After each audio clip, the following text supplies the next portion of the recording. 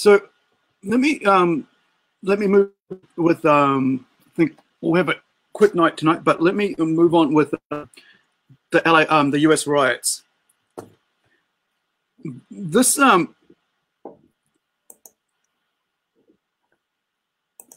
the idea that it's a black black thing, um, and it's only black people being um, being hurt or being murdered or being injured by flying blue bullets or uh, you know blue uniforms.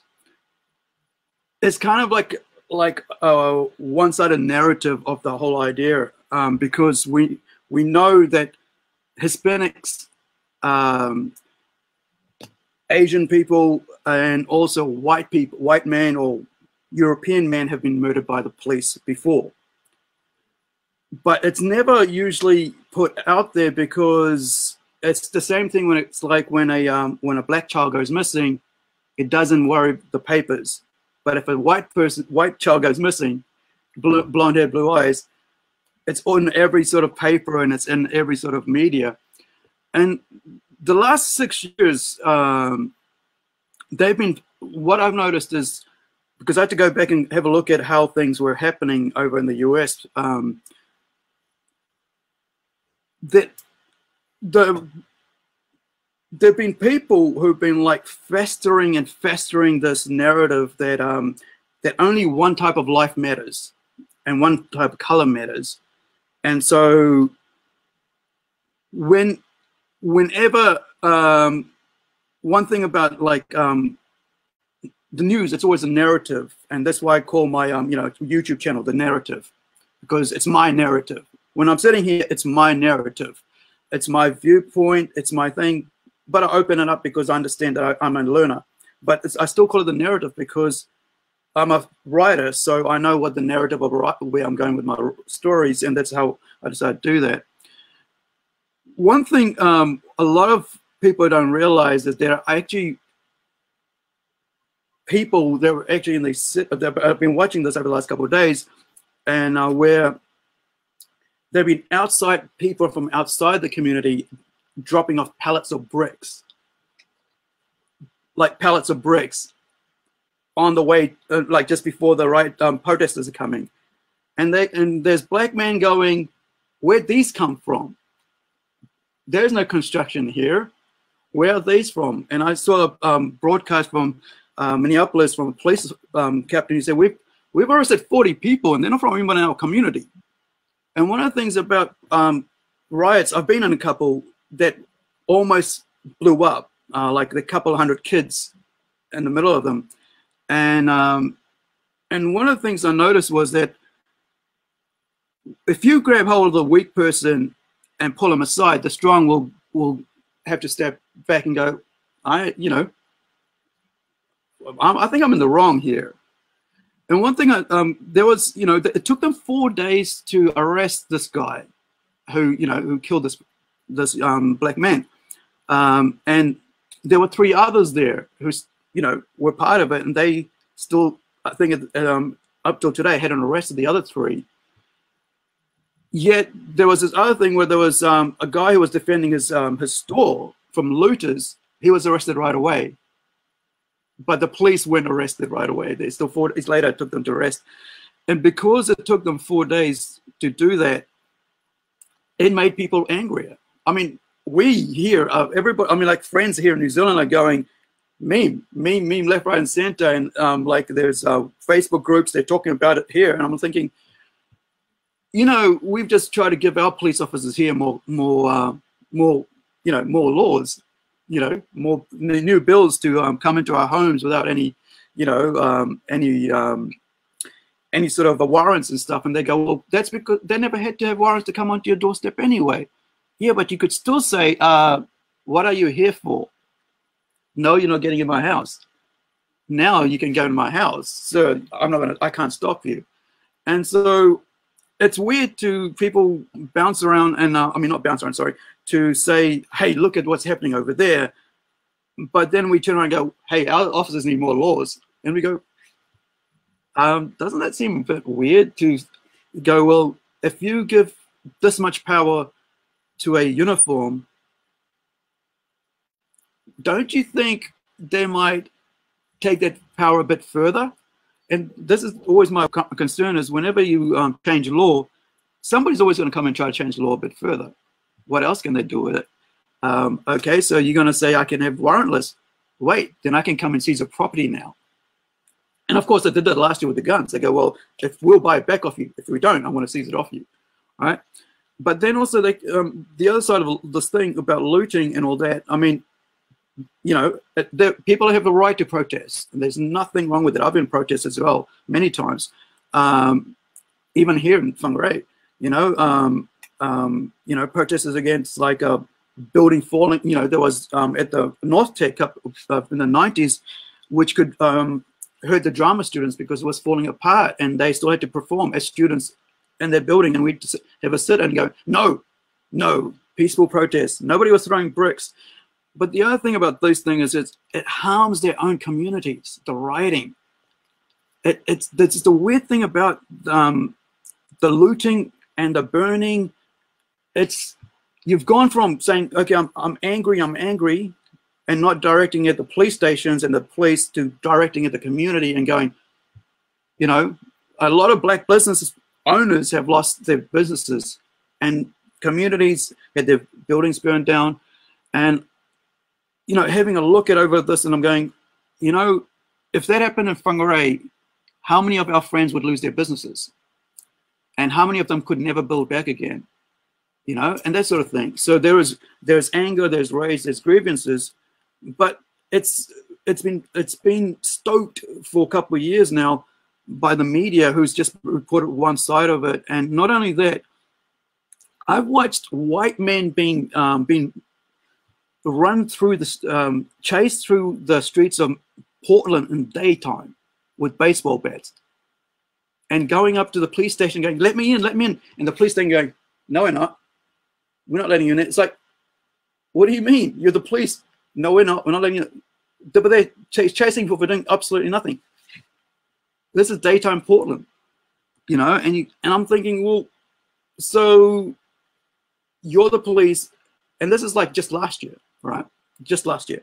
But the other thing of, of this is that these same police officers were giving out tickets and citations as well a couple of weeks ago during the lockdown and um, by giving up, uh, and basically people were snitching on each other and stuff, and getting um, you know arrested for social distancing. But nobody's worried about social distancing now. Nobody, nobody over there is worrying about that now, because everybody's rioting and stuff um, and burning down their own cities. And that's the thing about it. It's like their own cities, the businesses they could they'll be working in tomorrow, you know, when they go back. Um, but the other side of that is like, I mean, I've listened to a lot of black men on talk about these things on on you know on on YouTube, and I've been following them for about a whole year, thinking what what they think about all these race things that are happening in America, and a lot of them they don't they don't have these grievances as they everybody keeps talking about. Um, you know, listening to police officers, listening to people who've actually, uh, you know, musicians and artists, and they basically they talk about how you know you got to take your you got to take the bull by your hands and you got to get out there and create something for yourself and stop blaming this and blaming that and blaming that. I mean, it's been the same thing with me. When I started listening to these guys, are like, I can't blame my pain. I can't blame my injuries. I can't blame this. I can't blame I got to do that anymore. Right? I got to start getting in there and doing it myself. And I watch these guys and thinking, well, then why do so many people believe this out there? Why do so many people believe that this is what's happening? And because there's a part of the um, the um, the community that's always saying it's not it's everybody else's fault but yours and um, you know and it's always everybody else's fault but yours and I, I remember Nipsey Nipsey um, a, a very famous black man who was shot by a, a jealous black man in his own community outside his own business last year. And um, he opened up his store and he was going to, you know, he was said, you know, did well, came back to his community. I'm going to open up and help my own community. I'm going to employ these people in my own community. And his own community killed him. And there was no riot. His own community killed him. There was no riot, right? A guy from his own community killed him. There was no riot. Yet, there was only around about, I think about a, a couple hundred people that were mourning him. And people, and actual people, um, people online were saying, you know, as a sad loss to us. And within weeks, they were over it. And and the idea that this is someone who actually worked his way out. Um, and as a as a rapper from a child, from going through all the hustle of all that, uh, you know, as the name says, hustle, Nipsey Hussle, you know, hustled his way to to where he was, and his own community killed him. But but the narrative is it's only the white man kills the black man, right? And as long as you, as long as everybody keep perpetuating that narrative, you always will have people blaming somebody else for their problems. But these same, you know, the guys were saying, the police officers were saying, but every other week in Chicago, there's a hundred black men killed by hundred by other black men in the community. But we don't hear about it. Or across America, right? that black people are getting killed by black people, black males are dying. And nobody talks about these young, prominent young black men who are studying their lives hard out, going, trying to, as we're talking about scholarships and stuff, going to basketball, going to music, going to arts, getting all these ready to go to scholarships. There was one person who was actually killed who was on his way to getting scholarship, you know, just got on a scholarship. And he, and they're saying that, well, it doesn't matter if you're killed by your own community. It only matters if somebody else kills you. And the thing was, the reason I raised that is because I remember in 2014, my um, my uncle was stabbed in the neck by a by a seven year old and a 12 year old who were after some lollies. Our community didn't raise up against the other community and go, you know what? Out of our grief, we're going to burn down our city. You know, we're going to get angry now because you killed one of our prominent people. And I think this is the uh, idea that when we start perpetuating blindly to a belief system that, you know, we're not responsible for our own actions and we take on board and that when you're on the street, nobody cares what color you are. Uh, it's us and them when it comes down to it. No, sorry, not what color you are. When, when you're on the streets, nobody cares about your politics. You know, nobody cares about your ideals, how much you care about them or how much they care about you. They just see you as them and us, and it's and it's the weird thing because I think um, as much as grief you can have, you can you can when you start hurting your own community and um, and your own businesses, that's when it sort of kind of goes how far is too far is when I always think about it. It's like, how far do I carry this anger? You know, how far does anybody has a right to carry any anger? But we know, you know, police have killed people in the past. We've had our injustices here in New Zealand. I mean, even the courts, um, our injust, you know, our courts here, um, they've let off people. You know, we had someone who ran down um, a young boy and um, was set free. We had somebody else who was driving a couple, um, two years ago because they were American tourists, because their father was very rich. No bail, out of here, never brought to justice. And so we know there's injustices all the time. And it, but I think when we start um, using, I mean, not using, sorry, looking at other places and thinking, you know, how do we um, negate that to happening here? I think we just need to start um, listening to people who actually are actually having the dialogue and questioning things. You know, like we're doing. We're questioning how how does this happen? Why do these people do these things?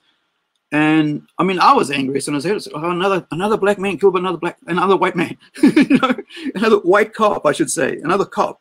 You know, and you know because it happens all the time and it's not because it only happens to black people it happens to white people and and um, you know and the other thing is a lot of people don't realize that the Asians were getting beaten in the streets during the coronavirus in America.